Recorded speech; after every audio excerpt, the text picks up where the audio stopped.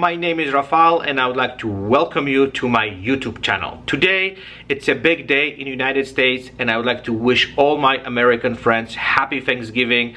Enjoy this amazing celebration and I would like to wish you all the best, all the success, all the money and I would like to wish you especially a lot of lot of health. We're living in the crazy times where this pandemic kind of is changing our lives but the most importantly enjoy the time with the family. I know this is something which is extremely important and this is the celebration, what it's all about. So enjoy those moments because I think they're extremely important and they can really bring some fresh and new energy to our life. So before I jump into our today's topic, tomorrow it's a black friday so i also did something special. I cut off my prices when it comes to my tutorial 50 percent. So if you're looking to update your skills and your knowledge when it comes to headshot photography check out those courses. There's one course about business headshots and there's one about retouching. So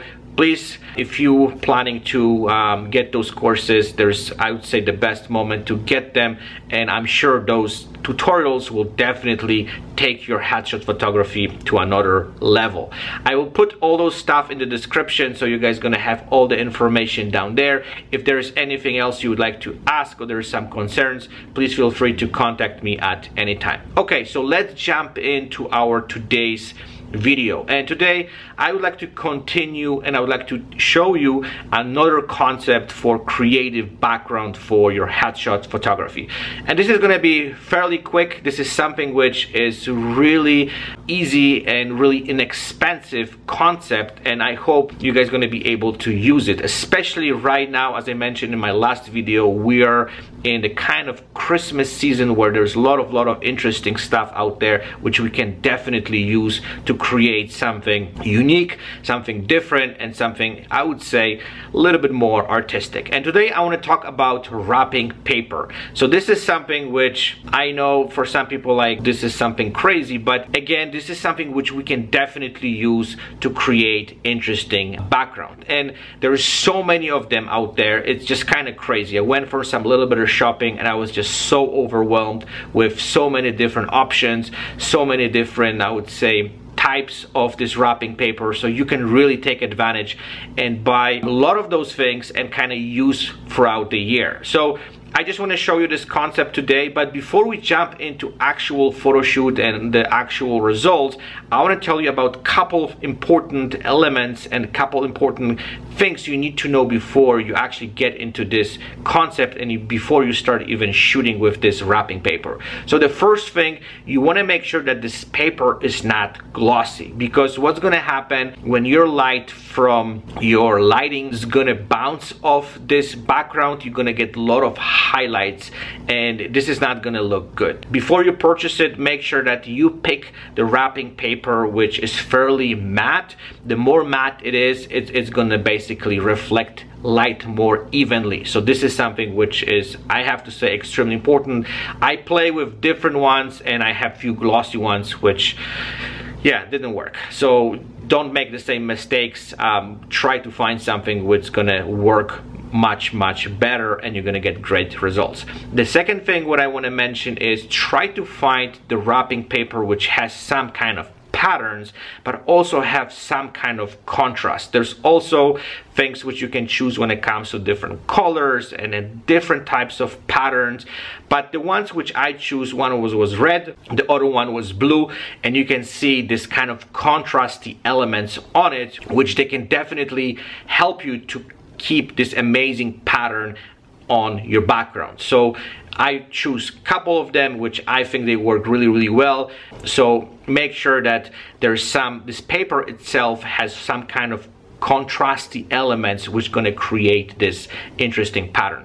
The second thing what I want to also mention, I think that's the third one, make sure when you're going to be putting this paper on the wall make sure that you actually just put them so you're not gonna lose the pattern. Because like when I started putting those stuff and I just like didn't pay attention to making sure that I'm matching the pattern and then on the photos this kind of look really really weird. And then you know you could see that this whole thing was kind of like a stick together. So whenever you're to be just putting uh, those sheets of paper right beside each other make sure the pattern match each other. So then you're to get really nice and consistent background. So let's jump into the photo shoot. Again typical lighting Rembrandt main light on one side kicker light behind and I add a little bit of light for the background and one of the things which you also have to remember when it comes to getting great results from wrapping paper, make sure your subject is a little bit closer to the background.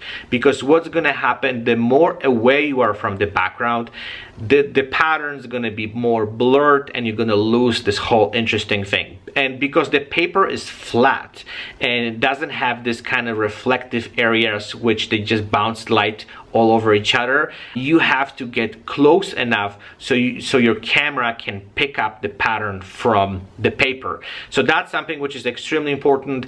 I try to play with different distances and the closer I got to uh, the background the better results I was getting. So when it comes to you remember my last video where I was playing with the garlands the more away you were that's where you were getting better results. In this case it's kind of opposite. You have to get closer to the background to make sure that that you can pick up the pattern. And the photo shoot went really, really well. I worked with beautiful model. We did some kind of creative stuff and we tried to kind of play with, you know, different ideas and, and, and different things just to kind of make this work. But at the end, I really like the results because it's something different, something unique. And I really didn't expect I'm gonna get this type of um, interesting look from those headshots. So one tip, again, get on it because those papers are are, as I said, extremely inexpensive. There's so many of them to, to choose from these days. And you can create even some kind of like a little kind of selection or, or collection of different papers for your upcoming um, headshot session. And you can use them for not only those creative stuff, I'm sure some of them, they will be very, very good to even do some business type of headshots because the patterns are really, really interesting and you can get some really, really cool stuff out of it. Okay, so I'm gonna put in description when it comes to um, the power of the lighting, the equipment I use. I'm not gonna pretty much kind of go over this. You guys probably have heard that million times. And I, again, I've been using this equipment for a decade now and I'm not changing much. So everyone who is following me for a little bit, you guys probably know all this stuff already.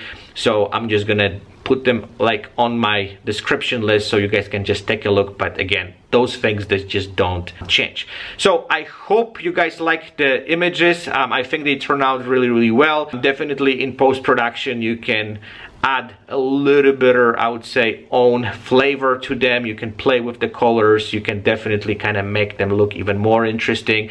But the concept itself can give you so many different options when it when it comes to creating something very very unique and different. So if you guys gonna have any additional questions or you guys gonna have any concerns um, I would love to see if you guys come up with some ideas or you guys kind of found something which can be used for this type of background.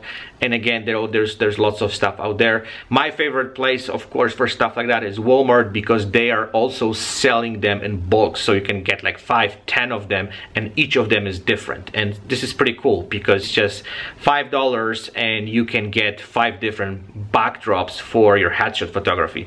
Like that's that's basically I think that's the best deal ever. So thank you for watching. I hope that was interesting. And uh, if you guys gonna have any additional questions as i mentioned you know where to find me please contact me and I'll be more than happy to answer all your questions. So again to all my American friends and I think we could I can say that to everybody out there who's watching have a fantastic Thanksgiving and I'll chat with you guys in the next few days. Thank you and bye bye